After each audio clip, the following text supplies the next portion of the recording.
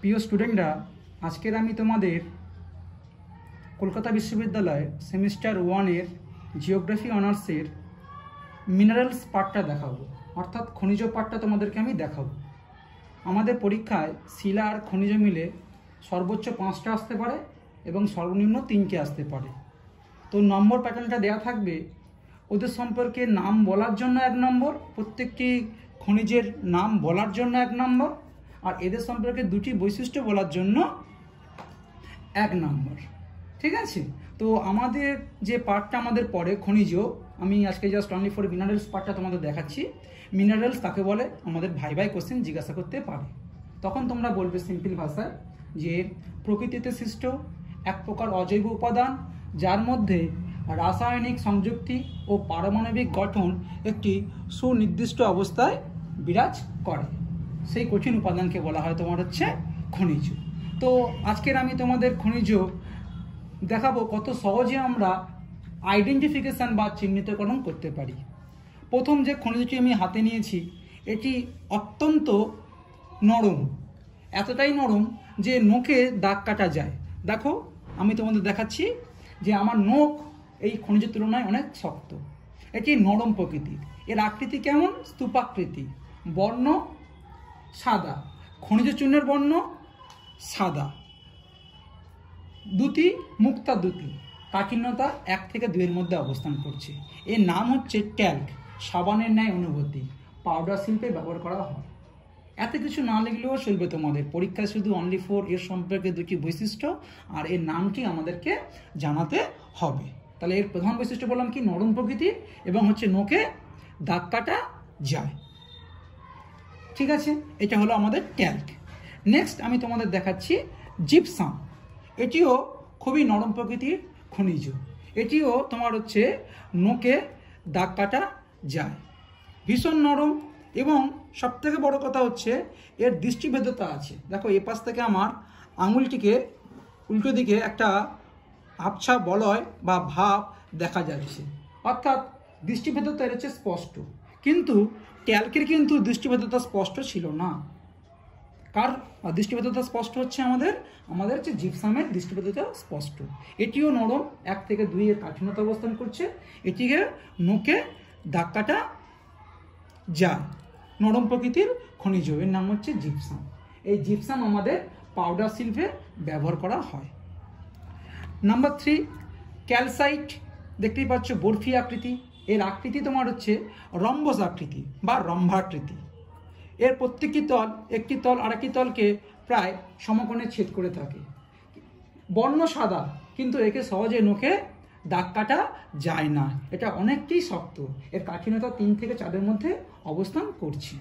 অনেকটা দেখতে কি বললাম হচ্ছে, তোমাদের সহজ হচ্ছে রম্বস আকৃতি বা রম্ভাকৃতি। খনিজগুলি যদি তোমরা হাতে না নাও, তাহলে তোমরা থরলি প্র্যাকটিক্যালটা বুঝতে পারবে না। নেক্সট দুটি লোহার আকরিক আমাদের সিলেবাসের মধ্যে রয়েছে। একটা হচ্ছে ম্যাগনেটাইট আর একটা হচ্ছে হেমাটাইট দুটোই চুম্বুকে আকর্ষণ করে, কেউ একটু বেশি, কেউ একটু কম। তো কী করে আমরা একে আইডেন্টিফাই করতে পারব? প্রথম আসি আমি ম্যাগনেটাইট এটি আকৃতি, স্তূপাকৃতি। বর্ণ, কালো। কিন্তু মাঝে মাঝে হালকা লাল ছোপ রয়েছে। চুম্বককে আকর্ষণ করে। ম্যাগনেটকে আকর্ষণ করে, যার কারণে এর নাম হচ্ছে ম্যাগনেটাইট তো পরীক্ষার সময় আমরা কি করে বুঝব যে এটা ম্যাগনেটাইট? চুম্বক আকর্ষণ করল। তা সত্ত্বেও একটি প্লেট রয়েছে, একটি প্লেট রয়েছে। সেই প্লেটটির নাম হচ্ছে, দেখো, জিওসিন প্লেট। এই প্লেটটি তোমাকে পরীক্ষায় দেওয়া হবে। এই প্লেটকে যদি ম্যাগনেটাইট, যদি প্লেটটিকে যদি ম্যাগনেটাইট কালো দাগ কাটে, দেখতে পাচ্ছ তোমরা?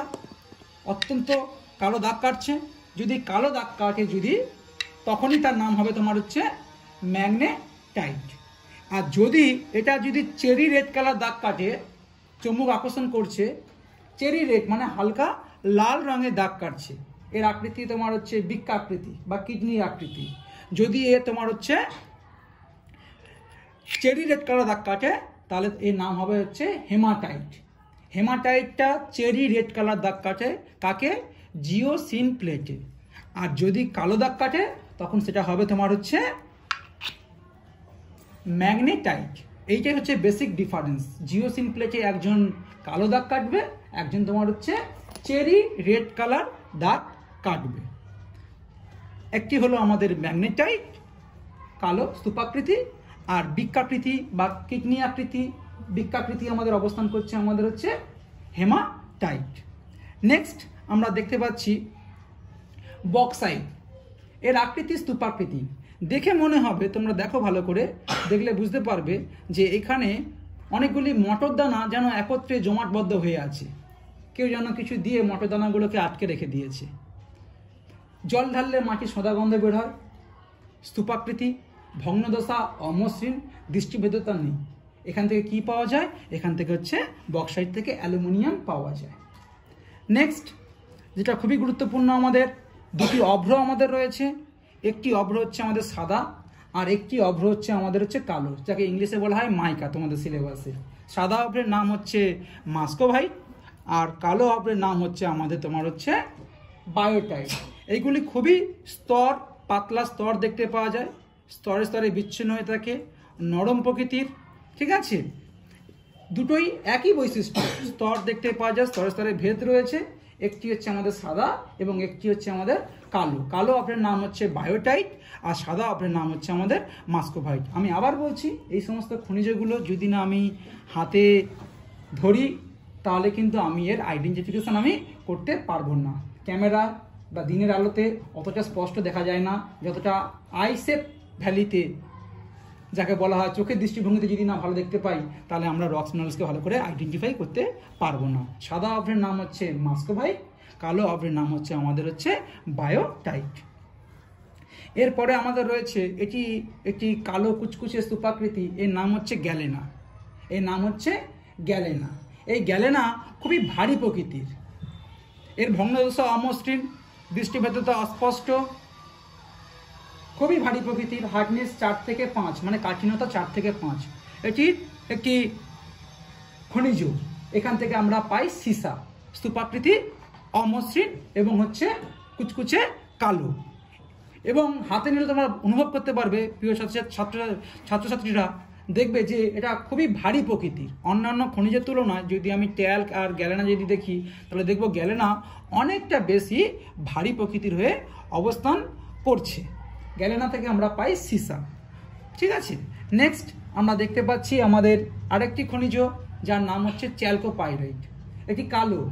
কিন্তু মাঝে মাঝে যদি তোমরা খেয়াল করে দেখবে, এখানে খানিকটা স্বর্ণাভ ভাব রয়েছে। এবং ভগ্নদশা অমসৃণ দৃষ্টিভেদতা এপাশ থেকে ওপাশ আঙুল দেখা যাচ্ছে না। অ্যাসিড ঢাললে তীব্র বিক্রিয়া করে। শুধু একটা জিনিস খেয়াল করবে, এই কালো অংশের মধ্যে তোমাদের কি রয়েছে? স্বর্ণাভ ক্ষুদ্র ক্ষুদ্র অংশ রয়েছে। অ্যাসিড ঢাললে বিক্রিয়া করবে। এই চলকোপাইডাইট হলো একটি তামার আকরিক। একে শোধন করলে আমরা তামা পেতে পারি। নেক্সট অন্যতম একটি শক্ত খনিজ যার কাঠিন্যতা সব থেকে বেশি সাত তার নাম হচ্ছে কোয়ার্জ। এই কোয়ার্জ দেখতে অনেকটা ঘষা কাঁচিক দুতির মতো। মানে কাঁচ ভেঙে গিয়ে যেন জমাট জমাটবদ্ধ হয়ে গিয়েছে। এর যে ধারটা, এই ধারালো বা ভগ্নদশা খুবই ধারালো। এর হার্ডনেস সাত বা সেভেন আমাদের ওয়ার্ল্ডে সব থেকে বেশি হার্ডনেস হচ্ছে আমাদের হিরে, তার হচ্ছে দশ। এই কোয়ার্চ এর মাধ্যমে আমরা কাঁচকে কাটতে পারি। দেখতেই পাচ্ছ, দুটি আলো পড়লে রিফ্লেকশন হবে, তাকে বলা হয় দুটি কাঁচিক দুটি রয়েছে। কোয়ার্জে কাঁচিক দুটি অবস্থান করছে। কোয়ার্জে কাঁচিক দুটি, এই যে মাইকাগুলো রয়েছে বায়োটাইট বা মাস্কোভাইট এগুলো সবই কাঁচিক দুটি। একমাত্র আমাদের ক্যালক, ক্যালসাইট এবং হচ্ছে জিপসাম এইগুলো হচ্ছে আমাদের হচ্ছে মুক্তার দুটি। আর যেগুলো আমাদের ধাতু পাওয়া যায়, লোহা, আমাদের তামা, এগুলো হচ্ছে আমাদের ধাতব দুথি এগুলো অবস্থান করে। এরপরে আমাদের যে পার্টটি রয়েছে, সেটি হলো আমাদের অনেকটা cherry red colour feldspar. Feldspar দু প্রকার হয়, ট্যাজিওক্লেস আর হচ্ছে অর্থোক্লেস। এটি হালকা গোলাপি বর্ণ, এটি তোমাদের হচ্ছে অর্থোক্লেস ফেলসপার। কি করে বুঝব? খানিকটা পিঙ্ক বা গোলাপি বর্ণের আর কিছু সিঁড়ির ধাপ দেখতে পাওয়া যায়। যদি তোমরা কাছ থেকে দেখতে পাবে, যদি আমরা কাছ থেকে ভালো করে দেখি, এর ধাপগুলো আমরা সুস্পষ্টভাবে দেখতে পাব। আমি আবার বলছি, যে কোনো খনিজ বা শিলা দেখার সব থেকে ভালো একজন শিক্ষার্থীর গুণ হলো তাকে হাতে নাতে চেক করা, পরীক্ষা করা। শুধু শুনে বা দেখে এটা অনুভব করা যায় না। হাতে নিয়ে তোমাকে দেখতে হবে যে এটা পিঙ্ক কালার রয়েছে। অনেকগুলি স্মল সিঁড়ির ধাপ দেখতে পাওয়া যাচ্ছে এবং একটি তল আরেকটি তলকে অনেকটা সমকোণে ভাঙার চেষ্টা করছে। তাহলে আমাদের সিলেবাসে দু প্রকার ফেলস্পার রয়েছে। একটি হলো প্যাজোক্লেস একটি হলো অর্থোক্লেস গোলাপি বর্ণের ফেলস্পারকে বলা হয় অর্থোক্লেস ফেলস্পার লাস্ট আমাদের সিলেবাসে কলকাতা বিশ্ববিদ্যালয়ের যে লাস্ট যে খনিজ পাঠটি রয়েছে তার নাম হচ্ছে টুরমালিন টুরমালিন দেখতে অনেকটা কালো, কিন্তু মাঝে মাঝে অভ্রের চিক বর্ণ থাকে। এর আকৃতি তোমার হচ্ছে স্ফটিক আকৃতি। স্ফটিকের মতো লম্বালম্বিভাবে অবস্থান করছে। স্ফটিক আকৃতি। এটা একমাত্র যদি আমাদের কোনো খনিজ স্ফটিক আকৃতি হয়ে থাকে, সেটা হলো আমাদের হচ্ছে টুরমালিন। আর ক্যালসাইট হচ্ছে আমাদের হচ্ছে রম্বস আকৃতি। দেখো রম্ভাকৃতি বর্গক্ষেত্রকে হেলিয়ে দিলে সেটা রম্বস সৃষ্টি হয়। রম্বাকৃতি হচ্ছে আমাদের হচ্ছে ক্যালসাইট আর টুরমালিন হচ্ছে আমাদের টুরমালিন। এই টুরমালিনটা হচ্ছে আমাদের স্ফটিক আকৃতি। এই হচ্ছে আমাদের কলকাতা বিশ্ববিদ্যালয়ের খনিজ।